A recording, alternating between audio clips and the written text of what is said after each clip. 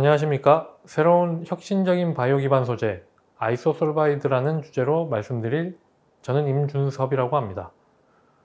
오늘 말씀드릴 내용은 우선 삼양그룹에 대해서 먼저 말씀을 드리고 introduction에서는 왜 바이오 기반의 소재가 중요하게 되었는지 그리고 isosorbide는 어떤 물질인지를 알아보겠습니다. 이후에는 isosorbide가 어떻게 제조되고 응용되는지 그리고 삼양그룹에서는 어떻게 isosorbide를 연구하게 되었는지와 연구를 진행한 현황을 말씀드리도록 하겠습니다. 먼저 삼양그룹에 대해서 말씀드리도록 하겠습니다. 삼양그룹은 1924년에 설립되어 현재 99년이 된 유서 깊은 그룹으로 2021년 기준 약 4조 원의 매출을 기록하였고 3,000명의 직원이 근무하고 있습니다.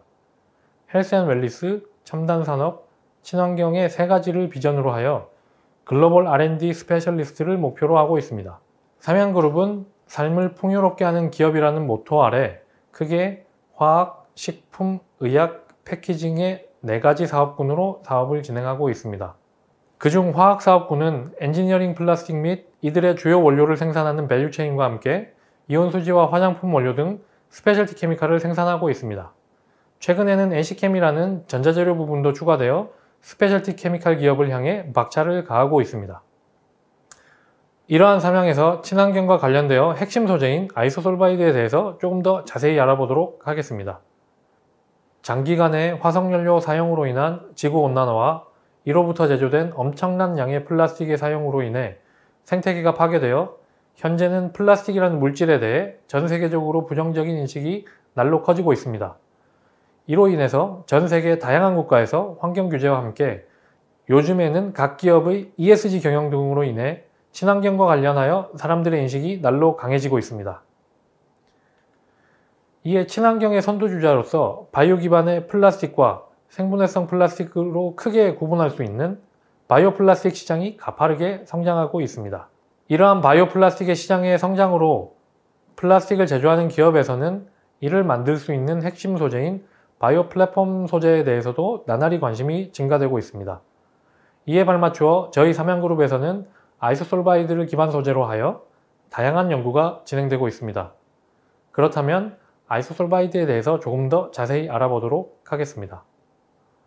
isosorbide는 옥수수 유래의 100% 바이오 기반의 소재입니다. V자 형태의 tetrahydrofuran ring이 두 개가 fused되어 있는 diol 구조입니다. 자연계에서는 두 개의 isomer가 존재하며 흡습성이 강한 고체입니다. 현재 삼양이노캠에서 생산되고 있으며 상품명은 노바소브입니다. 이런 isosorbide는 실제 어떻게 합성이 되고 있으며 주로 어떤 분야에 응용되고 있는지를 알아보도록 하겠습니다. 먼저 isosorbide는 어떻게 합성되는지를 알아보도록 하겠습니다. 옥수수에서부터 얻어진 전분으로부터 세 단계의 반응을 통해 isosorbide는 합성될 수 있습니다. 먼저 천연 고분자 중 하나인 전분을 효소 또는 화학 촉매 반응을 통해 해중합하여 글루코스를 얻고 이를 당 알코올 형태인 솔비톨로 얻기 위해 수소화 반응을 진행하게 됩니다. 이후 솔비톨에서 sorbitan을 거쳐 isosorbide로 제조되는 과정은 탈수 반응으로 두 개의 물분자를 제거하여 제조됩니다. 솔비톨에서 isosorbide를 얻는 반응을 조금 더 자세히 살펴보도록 하겠습니다. 솔비톨에서 isosorbide를 제조하는 반응은 다양하게 연구가 되고 있는데 솔비톨을 녹이거나 수용액 상태로 만들어서 산촉매하에 반응이 진행됩니다. 반응 조건에 따라서는 온도가 100도에서 220도로 다양하게 진행될 수 있고 생성되는 물을 진공으로 제거하면서 합성이 진행됩니다. 현재 삼양 이노캠에서는 100%의 솔비톨 전환율로 isosorbide를 제조하고 있습니다. isosorbide는 주로 폴리카보네이트, 폴리에스터, 폴리우레탄 등의 고분자의 단량체나 첨가제 또는 유도체로 제조되어 활용되고 있습니다. 각각의 용도에 대해서 조금 더 살펴보도록 하겠습니다. 먼저 폴리카보네이트의 경우에는 BPA를 대체할 수 있는 친환경 원료로서 초기에 연구가 진행되었습니다. 기존 BPA 기반의 폴리카보네이트에 비해 광투과도와 UV 저항성 등 광학적 성질이 우수하여 PMMA와 비슷한 광학적 성질을 나타냅니다. 그리고 PMMA에 비해 충격 강도가 강해서 자동차용 내외장재, 디스플레이용 필름, 화장품용 용기 등의 활용이 가능합니다. 두 번째로 isosorbide가 폴리에스터에 활용이 되면 isosorbide의 구조적인 특징으로 인해 폴리에스터의 결정화도를 낮추고 유리전이 온도를 향상시켜 더욱 투명하고 내열성이 향상된 폴리에스터를 중합할 수 있습니다. 기존의 페트에 비해 고온의 물질을 잘 보관하는 장점이 있습니다. 이로 인해 주로 식품 및 화장품 용기, 그리고 내열성이 필요한 전자레인지용 포장 용기 등에 활용되고 있습니다. 그렇다면 삼양에서는 이 isosorbide가 어떻게 연구되어 왔고 현재는 어떤 연구가 진행되고 있는지 살펴보도록 하겠습니다. 삼양에서는 isosorbide를 2009년부터 연구하기 시작했습니다.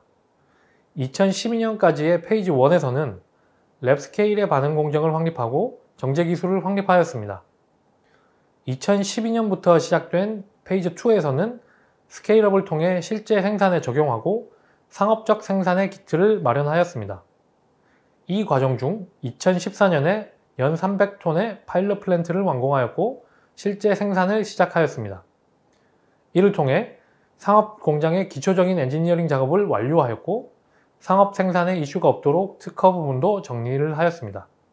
이후 Phase 3에서는 2021년 전북 군산의 연 15,000톤의 상업 공장을 기계적으로 완공하여 시생산을 시작하였고 2022년 11월에 준공을 완료하여 현재는 상업 생산을 진행하고 있습니다.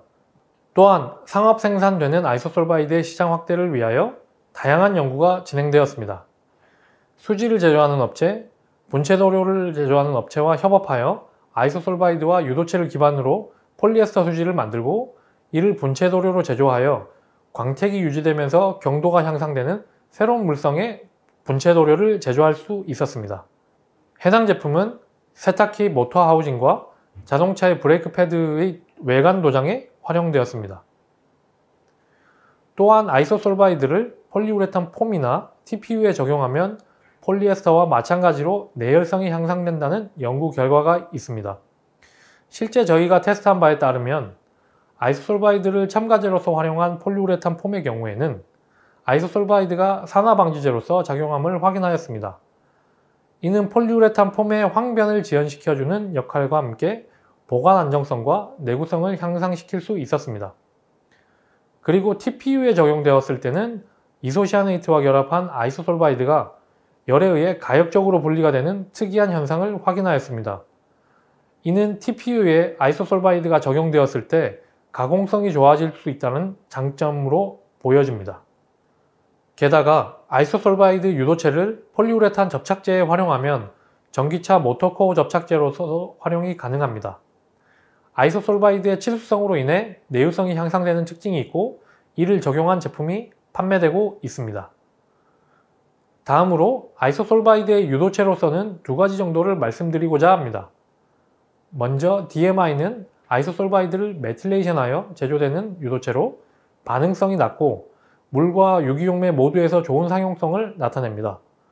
이러한 DMI는 인체에 무해하여 화장품이나 의약용 솔벤트 또는 기능성 첨가제로 활용이 가능합니다.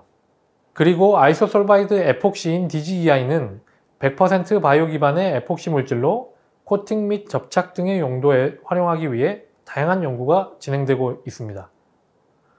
지금까지 isosorbide에 대해서 자세히 말씀드렸습니다. 오늘의 내용을 정리해 보겠습니다. 화석연료와 이로부터 제조되는 플라스틱의 생태계 파괴 등으로 인해 현재 플라스틱에 대한 인식이 크게 변화하고 있습니다. 이에 여러 업체와 연구기관에서는 친환경 물질과 바이오 플라스틱에 대한 관심이 증가하게 되었고 저희 삼양에서도 이러한 인식의 전환에 발맞추어 isosorbide라는 바이오 기반의 소재를 개발하였습니다. 그리고 이를 다양한 용도로 확장하기 위해 노력하고 있습니다. 앞으로도 친환경과 관련된 삼양의 행보를 주목해 주시기 바라며 삼양의 친환경 핵심 소재인 아이소솔바이드에 대해서도 많은 관심 부탁드리겠습니다. 감사합니다.